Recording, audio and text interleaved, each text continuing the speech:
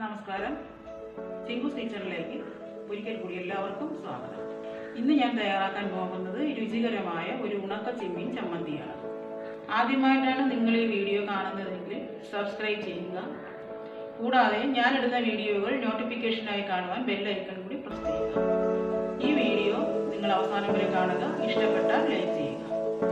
ഈ വിഭവം വളരെ എളുപ്പത്തിൽ തയ്യാറാക്കാൻ പറ്റുന്നതാണ്. കേടുകൂടാതെ നമുക്ക് മൂന്ന് മാസം വരെ ഇത് സൂക്ഷിക്കാൻ സാധിക്കും വിദേശ രാജ്യത്ത് താമസിക്കുന്നവർക്കൊക്കെ നമുക്ക് ഇത് തയ്യാറാക്കി കൊടുത്തു വിടാം ഇത് വളരെ ടേസ്റ്റിയായ ഒരു വിഭവമാണ്. അപ്പോൾ നമുക്ക് കിച്ചണിലേക്ക് പോകാം. ഇത് നമ്മൾ രണ്ട് സ്റ്റെപ്പായിട്ടാണ് ചെയ്യുന്നത്. ആദ്യം ചെമ്മീൻ നന്നായി വറുത്തെടുത്ത് വെക്കുക. രണ്ടാമത്തെ സ്റ്റെപ്പ് തേങ്ങയും അതിന്റെ ചേരുവകളും നന്നായി വറുത്തെടുത്ത് രണ്ടും കൂടെ മിക്സ് ചെയ്ത് പൊടിച്ചെടുക്കുക. ഇത് വെള്ളം ലേശവും ചേരാത്ത ഒരു വിഭവമാണ്. ഈർപ്പമില്ലാത്ത സ്ഥലത്ത് സൂക്ഷിച്ചാൽ മതിയാകും. ചെമ്മീൻ ചമ്മന്തിക്ക് ആവശ്യമായ സാധനങ്ങൾ ഏതൊക്കെയാണെന്ന് നമുക്ക് നോക്കാം. ഇത് അഞ്ച് ചെറിയ ഉള്ളി അരിഞ്ഞതാണ്. ഉപ്പ് പൊടി കുരുമുളക് പൊടി. ഇതൊരു നൂറ് ഗ്രാം ഉണക്ക ചെമ്മീൻ കഴുകി വൃത്തിയാക്കിയ ചെമ്മീൻ ഉണക്ക ചെമ്മീനാണ്. ഇത് രണ്ട് തേങ്ങ തിരികെ വെച്ചിരിക്കുകയാണ്. കറിവേപ്പില മുളക് പൊടി കായപ്പൊടി ഇത്രയും മതിയാകും.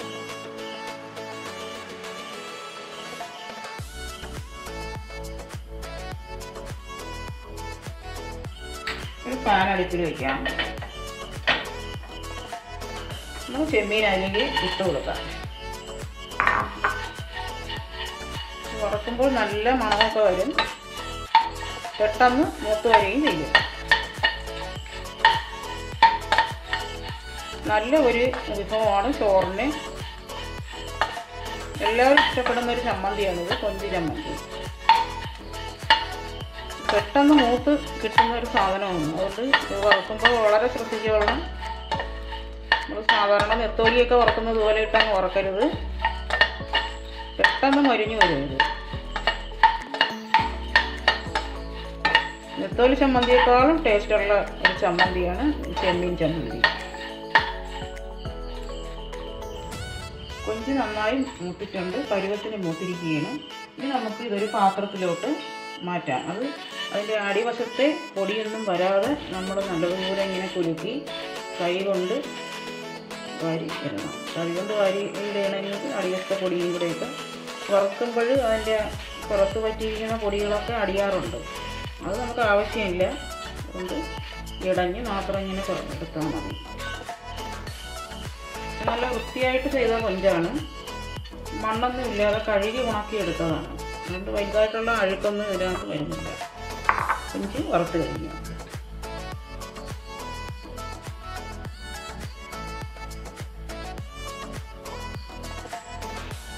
അടുത്തതായി നമുക്ക് തേങ്ങ വറുത്തെടുക്കാം.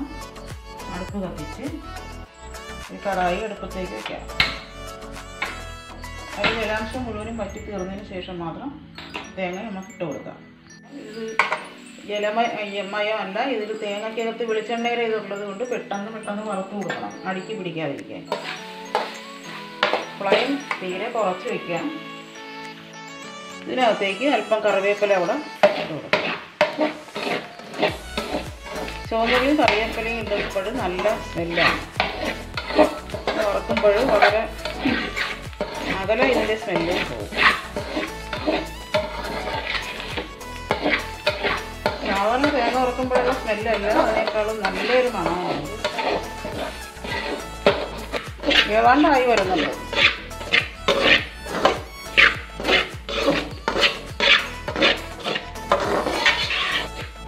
നല്ല ബ്രൗൺ ആവണ്ട. പൊടികൾ ചേർക്കേണ്ട പരുവമായി കഴിഞ്ഞിട്ടുണ്ട്. നമുക്ക് ഫ്ലെയിം തീരെ വേണ്ട. പൊടി ചേർക്കുമ്പോൾ കരിഞ്ഞു പോകാതിരിക്കാൻ നമുക്ക് ഫ്ലെയിം ഓഫാക്കി വെച്ചിട്ട് പൊടികളെല്ലാം ചേർക്കാം. ഇതിലിനി പൊടിയും കൂടെ ആഡ് ചെയ്തിട്ട് നമുക്ക് ഫ്ലെയിം കുറച്ച് വെച്ചിട്ട് ഒന്ന് വറുത്തെടുക്കാം. മുളക് പൊടി ചേർത്ത് കൊടുക്കാം. നാല്. രണ്ട് സ്പൂൺ കുരുമുളക് പൊടി ചേർക്കാം. ശേഷം കായപ്പൊടി. മതിയാവും. ഇനി നമുക്ക് അടുപ്പ് കത്തിച്ച് ഒന്ന് കൊടുക്കാം. ലോ ആക്കി വെച്ചതിന് ശേഷം എടുത്ത് വെച്ചാൽ മതി. ഇനിയാണ് സൂക്ഷിക്കാനുള്ളത്. കരിഞ്ഞു പോകരുത്. ലേശം ഉപ്പ് കൂടെ ഇട്ട് കൊടുക്കാം. നമ്മൾ തേങ്ങ വറുത്തപ്പോഴും ഉപ്പ് കുറച്ച് ഇട്ടിട്ടുണ്ട് ഇതിന് ഉപ്പാണ് വേണമെന്നത് കൊഞ്ചിന് ഉപ്പില്ലാത്തത് കൊണ്ട്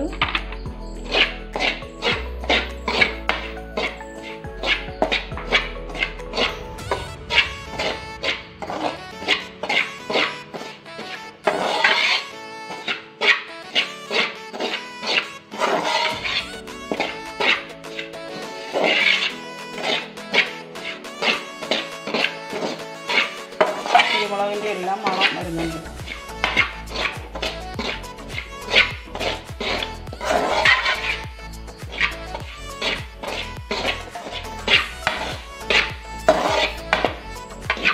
വറുത്ത് തീർന്നാൽ പിന്നെ അടുത്ത സ്റ്റെപ്പ് ഇത് പൊടിച്ചെടുക്കുക എന്നത് മാത്രമാണ്.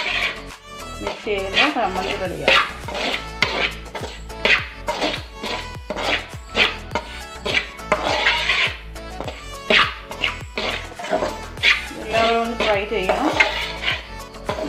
അത്യാവശ്യം കറിയൊന്നും ഇല്ലെങ്കിൽ ഇത് രണ്ട് മൂന്ന് മാസം വരെ കുറഞ്ഞത് നനവ് തട്ടാതിരുന്ന് സൂക്ഷിച്ച് വെക്കാൻ പറ്റും.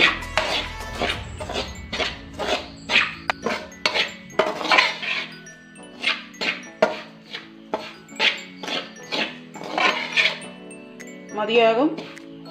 അടുപ്പ് നിർത്താം. ഈ പാത്രത്തിൽ തന്നെ ഇരുന്ന് ഒന്ന് ആറി വരുമ്പോൾ നമുക്ക് പൊടിക്കാൻ പോകും അടുപ്പ് അണയ്ക്കാൻ പോവുകയാണ്. ഇനി നമുക്കത് പൊടിച്ച് തുടങ്ങാം. ആദ്യം കൊഞ്ച് ജാറിലേക്കിട്ട് അത് പൊടിച്ച് മാറ്റിയതിന് ശേഷം തേങ്ങ പൊടിച്ച് മിക്സ് ചെയ്ത് ചെയ്തെടുക്കും കൊഞ്ച് നന്നായി പൊടിച്ചിട്ടുണ്ട്. പാത്രത്തിലേക്ക് നമുക്ക് തട്ടിയിടാം. അതേ ജാറിൽ തന്നെ നമുക്ക് തേങ്ങ കുറച്ചായി കോരിയിട്ട് പൊടിക്കാം. രണ്ട് ട്രിപ്പായിട്ട് പൊടിക്കാം. അത് പോയില്ല ചമ്മന്തിയുടെ പരുവത്തിൽ ഇരുന്നാൽ മാത്രമേ നമുക്ക് പൊടി ചമ്മന്തിയായിട്ട് കിട്ടൂ.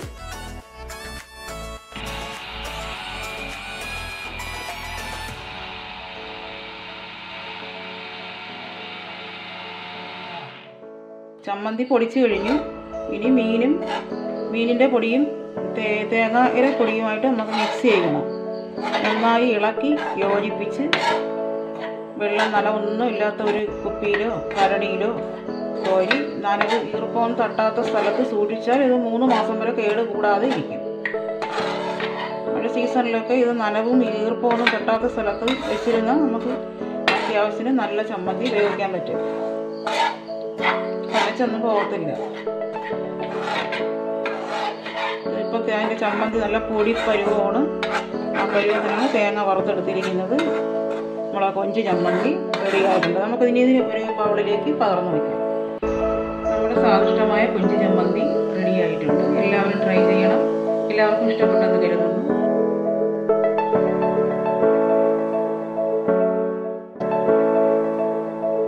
അപ്പോൾ എല്ലാവർക്കും ഇഷ്ടപ്പെട്ടെന്ന് കരുതുന്നു. എല്ലാവരും ട്രൈ ചെയ്യണം. അടുത്തൊരു റെസിപ്പിയുമായി ഞാൻ വീണ്ടും വരും. വീണ്ടും കാണാം. അപ്പോൾ ഒരു കാര്യം മറക്കണ്ട. എല്ലാവരും സബ്സ്ക്രൈബ് ചെയ്യണം. എല്ലാവർക്കും നന്ദി